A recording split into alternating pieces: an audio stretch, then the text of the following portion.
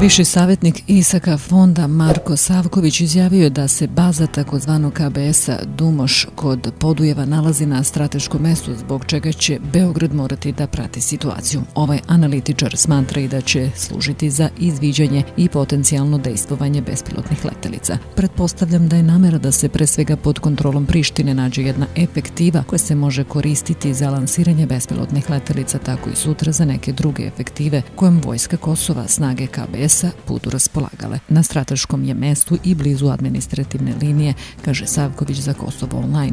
Uveren je da će vlasti u Beogradu povno pratiti razvoj situacije. Sigurno da za Beograd država Srbija mora da prati razvoj ove situacije. Odnosi odavno nisu dobri, ali oni više nalikuju nego komplektnim odnosima, kaže Savković.